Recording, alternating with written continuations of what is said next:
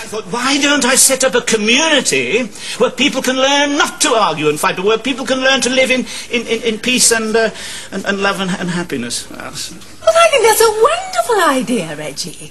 do you, darling? What sort of community? Ah.